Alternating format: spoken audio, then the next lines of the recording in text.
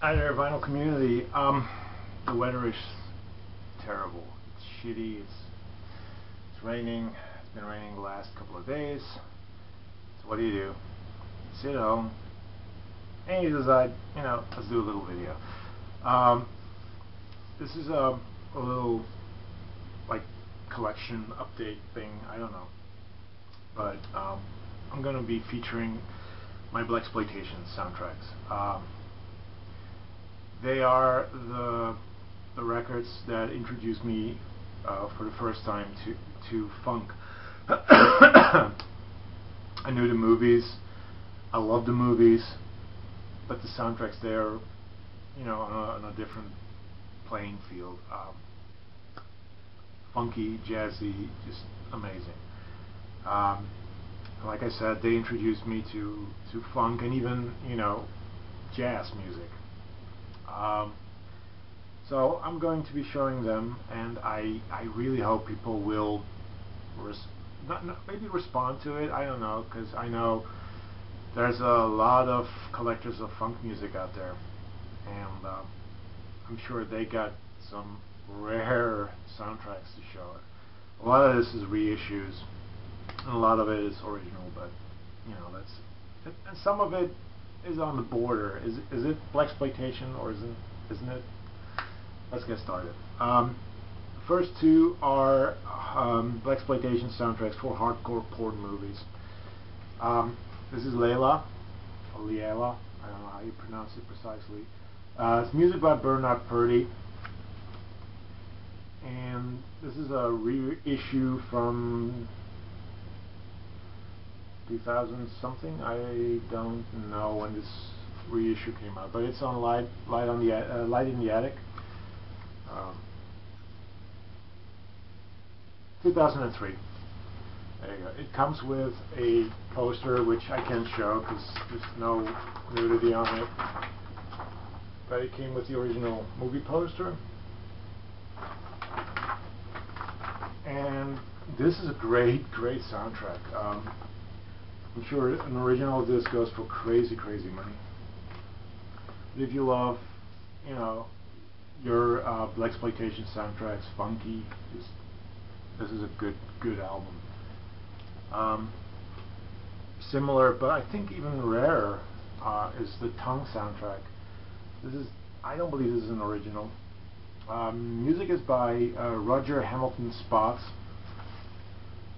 It's on the Chocolate Cities record label. Doesn't uh, show a lot, except that I know that it's a uh, uh, it's music from a from an X-rated film. Um, can't really say who's on here because I, I'm not that well schooled with uh, musicians, but this is another really funky one.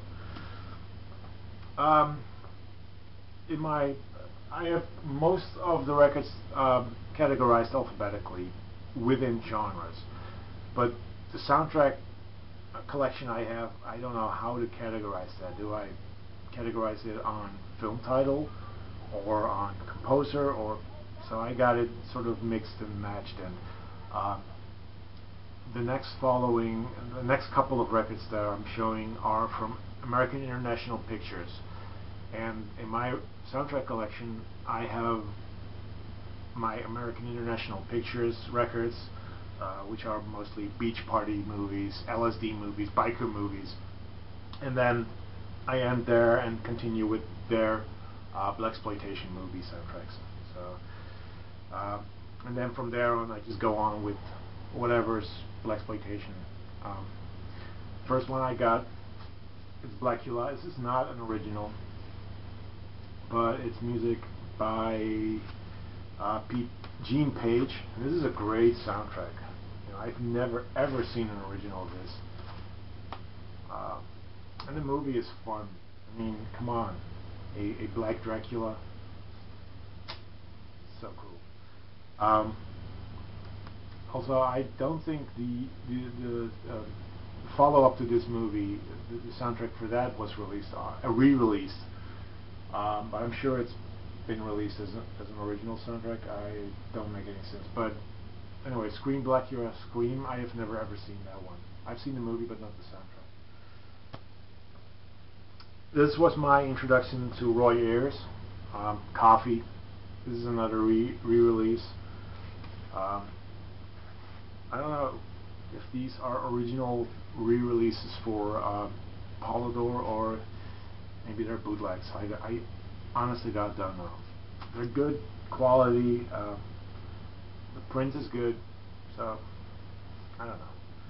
This is a killer, killer soundtrack. Just truly, truly amazing. The movie's awesome. Pam Grier kicks fucking ass. Then we got, um, this is an original copy, but it's a copy from Peru. A Peruvian copy of James Brown's Slaughter's Big Ripoff. Um, Slaughter's Big Ripoff is a sequel to a movie called Slaughter. Obviously, it stars Jim Brown. Like many, um, it stars Jim Brown. Yeah, it stars Jim Brown. Uh, like many of the male um, exploitation stars, heroes, actors, uh, he came from sports. I believe he was a um, American football player, just like Fred Williamson, and just like um, oh God, I forgot his name. Anyway, um, I don't know. Sorry. Um, this is an original Polydor release on on the Peru uh, the Peru copy, and this is a good soundtrack. It might have also been my first James Brown soundtrack, so or my first James Brown record. Um, I saw I saw the movie. It's pretty good. It's pretty good. Then another Pam Grier movie and another re-release. This is Sheba Baby. This is more. Um, it's not as funky as as Coffy, but it's a good soundtrack. Um, it's composed by Monk Higgins and Alex Brown, and Barbara Mason uh, does the vocals.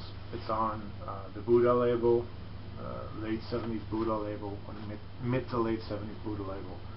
Um, and she was on that label, so.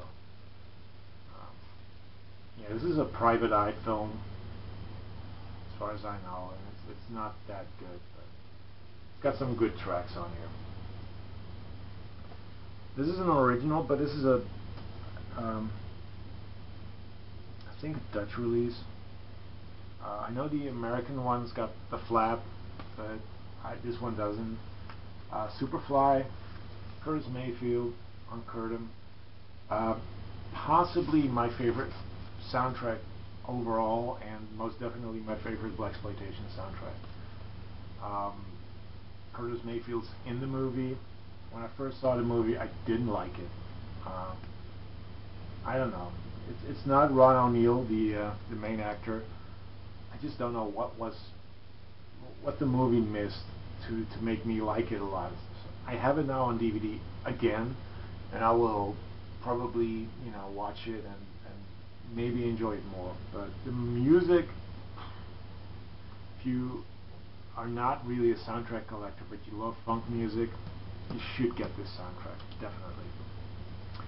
The sequel to that was Superfly TNT, and the music for that was released, was created by Osibisa. Um, is a uh, an African um, band who um, weren't funky, but they were they had a certain cool groove. Uh, I've never seen this movie, by the way, but the music is good. It's it's not comparable to Curtis Mayfield, but it's it's it's a good soundtrack. Excuse me. Um, and uh, this is another, I think, this is a German release on Buddah Records, and uh, I don't know why they had to put a sticker on it saying that the music's by OSB, so maybe they couldn't read the, the logo of the band. Uh, good soundtrack. This is a killer soundtrack, and this is one for an early blaxploitation movie. Uh, movies weren't called blaxploitation back then. Um, this is Uptight, Booker T and the MGs. Um, it's on Stax. Um, this is a, a later release, I'm sure. Um, good, good soul, um, funky soul, um, lots of keyboards, or Hammond, sorry, I should say. I have again not seen this movie, but this is more of a uh, urban movie where um, uh, I don't know. It's it's about a protest, Black American protest, and uh, it, it's different from from the black exploitation movies that you all know and and, and love. Um, uh, it's not um, a black hero kicking Whitey's ass. It's it's basically just more the troubles of a black community, and that being portrayed in a movie. Uh, they changed towards movies like Shaft, which is a classic. The soundtrack's a classic. The movie's a classic. Um, and I think there were a lot of uh, African American people who were not, um, they weren't liking the way this was going. Um, the uh, stereotypical American or, or black American um, action star, and they felt they were being exploited. Maybe that's where the, the term black exploitation came from. Uh, but they, these these actors, they were stars. They were superstars. Their movies were being played all over the world, and people didn't give a shit. I mean, yeah, they were being nasty towards women and, and white people, but fuck it. They're fucking movies. They're amazing movies. And I believe that those uh, groups who were against the whole black exploitation thing, they finally managed to to get that whole genre destroyed. And a lot of these actors, they well, they didn't find any more work because of that, except actors like um, Fred Williamson, Pam Grier, and um, better actors like Japhet Kotto was in this one. This is 100 across 110th Street. Music by Bobby Womack. Another reissue. This is such a such a good good soundtrack. The movie is, I think, less black exploitation, more gangster. Excuse me, more gangster. Um, um, Japhet Kotto ain't on here on this cover. Oh well, it's it's a really really good movie, and um, soundtrack's killer as well. This is a soundtrack that I got from a friend last year. It's on red vinyl. The quality is not that good. It's Three the Hard Way, uh, The Impressions. I think this is without Curtis Mayfield or with I, am not too sure. It doesn't doesn't say. Um, I love to see this movie. Uh, Jim Brown, Fred Williamson, Jim Kelly.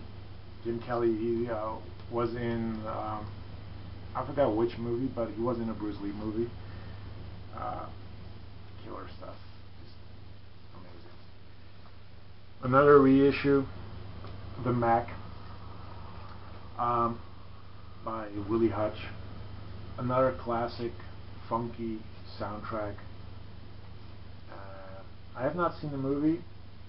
I don't even own it, but yeah, this is classic stuff. Um, Richard Pryor's in it, but this was before Richard Pryor did comedy. Then we got a really um, movie in, in extremely bad taste. Uh, the Black Gestapo. Um, this is one of those sound soundtracks where they took the, the music straight from the movie print. And uh, so you hear music, but you hear dialogue through it as well. I, fucking hate that. I can't stand that. Um, so I don't know if this was originally released as a soundtrack without dialogue. Uh, this is pretty uh, it's a pre- this is one of those sleazy exploitation movies. I mean, calling it the Black Gestapo, it's like I don't know, it's wrong, but it's wrong in a good way. It came with the movie poster.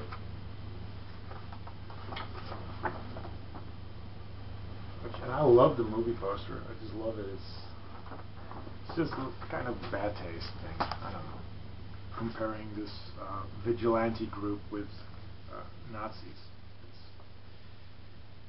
yeah, but it's a very violent, very brutal movie, and the music, the music, if you can hear it throughout through the dialogue, is pretty damn good. It's done by uh, Ellen Alper, I, to be quite honest, don't know. Here we got another amazing soundtrack, and uh, my favorite blaxploitation movie could be Cleopatra Jones. Um, this is another reissue. Um,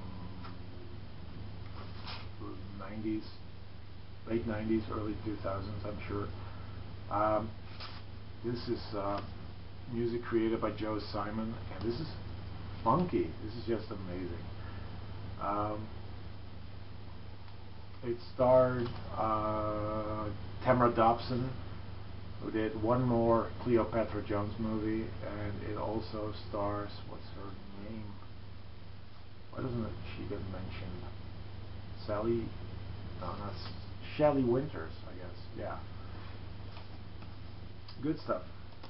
This is an original and my only record by this artist, because I know he did a lot of those, well, smooth, smooth soul albums. This is Together Brothers by Barry White.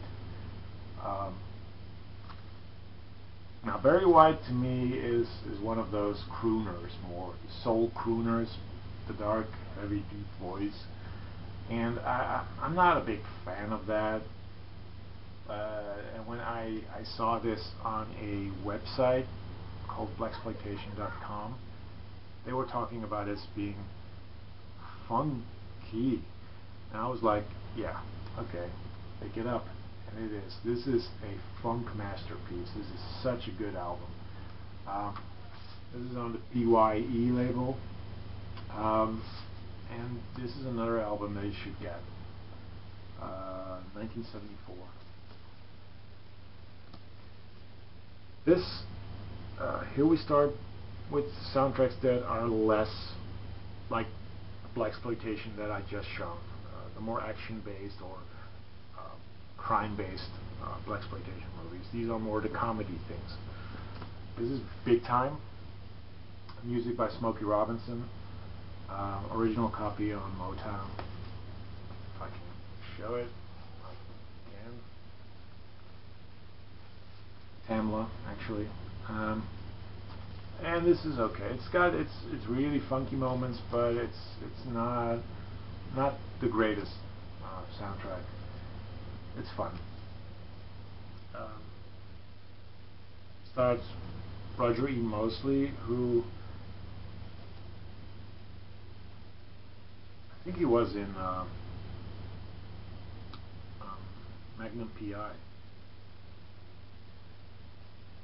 Don't know.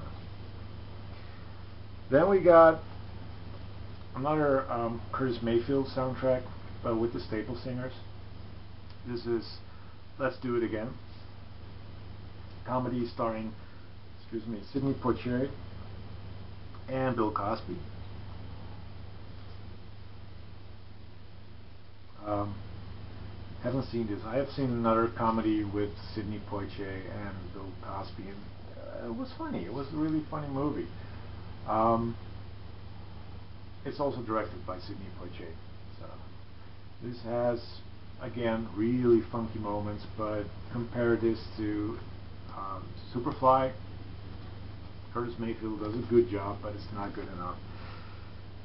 Here we got a more uh, more of a love story called Claudine. Uh, music is by uh, Gladys Knight and the Pips, written and produced by Curtis Mayfield. Um, so again, Curtis Mayfield soundtrack. And again, this is a pretty damn good soundtrack. It's on the Buddah label. This is from 1974. and the movie stars James Earl Jones. As you can see here, he's a great, great actor. Um, not just known for his voice work for Darth Vader, he's a good, good actor. Um, but I'm not sure if I, I am really interested in seeing this movie. I'm not a big fan of, of romance movies or whatever. Here we got a British black exploitation soundtrack called Demolition Man. It has nothing to do with the uh, Sylvester Stallone, then uh, not uh, God, the Sylvester Stallone movie. I'm keeping, uh, I'm really messing this up anyway. Um, it's a musical and it has funky moments, but it's also very disco. It comes with the uh, lyrics, and yeah, it's good, but don't pay too much for it. Uh, I only have the best of Car Wash. I don't have the complete soundtrack of Car Wash. Um, this is music by Rose Royce uh, and the Pointer Sisters it's it's good. It's more disco, at least. Yeah, it's more disco. But uh, yeah, I'll keep an eye out for the uh, complete album because I really want that. Here we got um, another. This is labeled as a black exploitation movie. I have my doubts about this kind of. Um, music is mostly done by Nile Rodgers, uh, so it features a lot of chic but also um, Carly Simon, Ten Teddy Pendergrass, Deborah Harry, Sister Sledge. Uh, more of a disco album, and I don't know what the movie is about, but this is being labeled as blaxploitation. I just looking at it, I just can't see it. But now this is a really good soundtrack. Um, picked it up for not too much. It's on a label called Stang, um, which I've never heard of. Uh, and this is the Petty Hearst story, actually. The movie's called Petty, and it features uh, a lot of soul, but some funk as well. Uh, you get uh, the Moments, Chuck Jackson, Rita Young, and the Rim Shots. Especially the Rim Shots, they funk it up. It's such a good good band. Um, so yeah, this is an album that's that's worth picking up. I think it might be a little rare. It might not be mega rare, but you know it's cool. And the last record I'm going to show you is Diamonds, which um, stars uh, Richard Roundtree. This is uh, uh, after he became famous, of course, with with um, um, Shaft. Uh, this is a British soundtrack. Uh, the guy uh, is Roy Budd, who did a lot of funky stuff, but it's a British composer. Um, and again, not like your um, average uh, exploitation movie. It's just it's called blaxploitation because Richard Roundtree's in it, and he's one of the you know main actors from the whole blaxploitation movement. Anyway, uh, I am very interested to see what anyone else has in this um, genre or whatever. And uh, I hope you liked it. Just leave some comments and I'll be seeing you. Peace.